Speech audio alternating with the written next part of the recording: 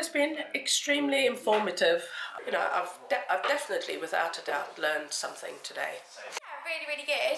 Um, I feel like Simon engaged with us all really, really well. So um, he brought in funny elements and we all sort of interacted together, which was really good. It makes, it makes courses because usually when you run a course it's quite boring, but it wasn't. It was like fun, really. So yeah, and I learned a lot of techniques that I wouldn't have thought about before.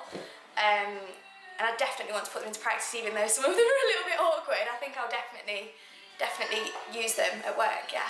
Um, Simon has a lot of industry experience, and I don't think there's any substitute for that. So, whilst ever sales is a generic subject, I think if you are going to um, build your course around the industry specific field that you're working in will add extra value to the course. I'm gonna I'm gonna try and use um, the silent close, which looks really uncomfortable, but I, I want to see if it actually works.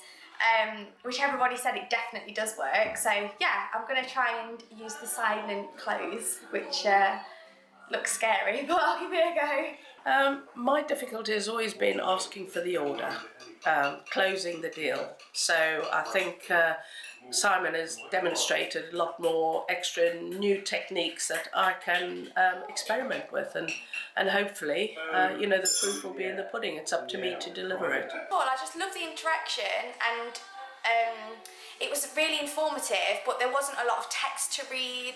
Um, Simon answered all the questions that were thrown at him, which was really helpful. He, he's so knowledgeable on, on the subject, obviously.